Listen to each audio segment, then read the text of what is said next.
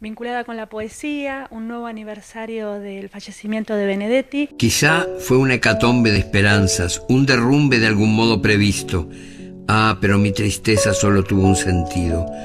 Todas mis intuiciones se asomaron para verme sufrir y por cierto me vieron.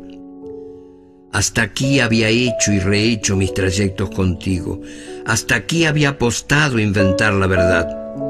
Pero vos encontraste la manera, una manera tierna y a la vez implacable de desahuciar mi amor. Con un solo pronóstico lo quitaste de los suburbios de tu vida posible, lo envolviste en nostalgias, lo cargaste por cuadras y cuadras y despacito, sin que el aire nocturno lo advirtiera, ahí nomás lo dejaste, a solas con su suerte, que no es mucha. Creo que tenés razón. La culpa es de uno cuando no enamora y no de los pretextos ni del tiempo. Y tenemos el honor de invitarlos a un recital poético que preparó Santiago Orsini con el nombre Sin sábanas da igual. ¿Va a ser? Este 17 de mayo a las 18 horas en la biblioteca, con entrada libre y gratuita. Bueno, esto se suma a las actividades ¿no? que planifica permanentemente la biblioteca.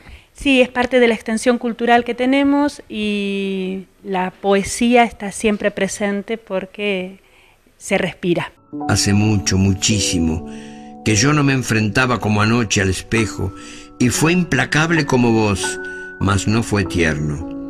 Ahora estoy solo, francamente solo.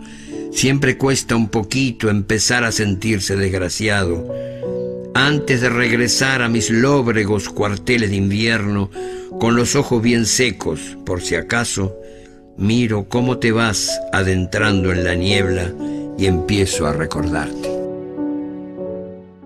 ¿Es recomendable eh, eh, venir temprano porque el lugar es acotado? Tenemos pocas sillas, lamentablemente, y por suerte se llena.